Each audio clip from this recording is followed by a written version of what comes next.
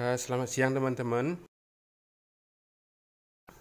Uh, barusan uh, kita merayakan Nyepi dan sekarang diperpanjang Nyepinya. Hampir seluruh dunia merayakan Nyepi, ikut merayakan. Kita harus stay at home. Uh, kasus COVID-19 menyebabkan kita harus tinggal tetap tinggal di rumah untuk mengurangi uh, transmisi virus ke orang ke orang, orang per orang. Nah, kasus uh, COVID-19 pada tanggal 27 Maret uh, siang ini itu sudah mencapai 5 537.042 kasus yang konfirm positif dari 176 negara. Dan yang meninggal sudah mencapai 24.124 1.110 orang. Dan yang recover uh, juga cukup lumayan banyak 123.268 orang.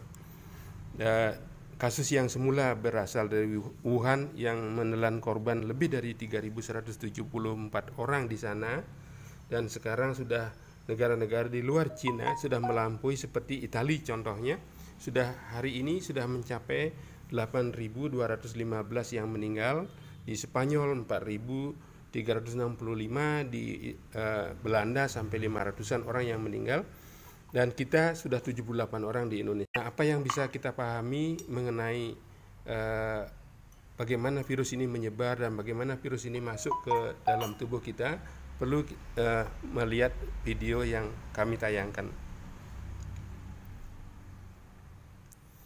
Pertama,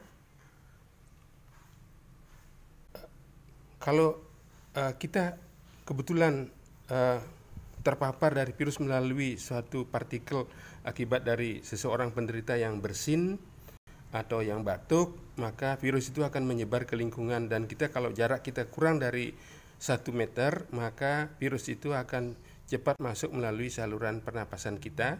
Dan di dalam saluran pernapasan akan virus itu akan masuk, kemudian akan uh, mencari bagaimana cara virus itu menempel ke dalam saluran saluran pernapasan dan ke paru-paru adalah melalui satu reseptor.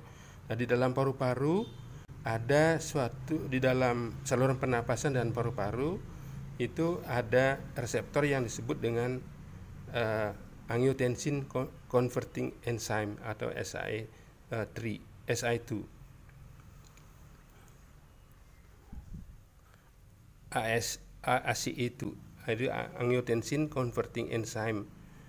Uh, virus itu akan menempel kemudian masuk ke dalam saluran pernapasan dan gejala itu baru timbul batuk-batuk setelah uh, uh, virus itu masuk ke dalam uh, alveoli ke sel alveoli. Dan di dalam sel alveoli maka virus ini akan memperbanyak diri yaitu dengan menempelkan uh, materi genetiknya masuk melalui uh, plasma membran namanya kemudian dia mengintegrasikan uh, karena itu biasanya adalah setelah hari keempat dan kelima itu antibodi dan uh, sel T atau uh, daya pertahanan tubuh kita itu akan berkembang dan mencapai puncaknya uh, antibodi itu akan mencapai pada akan mencapai uh, pada hari ke uh, 12 sampai ke 14 sehingga virus itu dapat dinetralisasi dan virus itu akan uh, dieliminir. Nah, sehingga kenapa harus kita harus melakukan stay at home selama 20 12 hari, 14 hari? Itu adalah maksudnya adalah karena masa inkubasi virus itu dan antibodi kita sudah menetralisir virus sehingga pada saat hari ke-14 kita sudah dikatakan uh, uh, bebas dari virus tersebut. Nah, sekali apakah virus itu akan uh, masuk lagi al berikutnya. Kalau ada infeksi boleh bisa saja masuk tetapi kita sudah punya memori sel atau sel yang mengenal virus tersebut yang disebut dengan sel B memory dan itu akan uh, dengan cepat akan memberikan respon sehingga uh, virus akan dapat dinetralisir. Artinya kita bisa terinfeksi tetapi tidak menimbulkan eh, gejala-gejala uh, lagi karena virus akan cepat dinetralisir dan akan dieliminir oleh uh, tubuh kita. Kalau kondisi tubuh kita sehat, makanya kita perlu uh, menjaga kondisi yang baik, kemudian uh, makan buah-buahan dan makan vitamin. Maksudnya adalah untuk meningkatkan daya tahan tubuh kita, jangan sampai kita stres. Uh, karena dengan stres akan mengurangi daya tahan tubuh kita. Oke, terima kasih.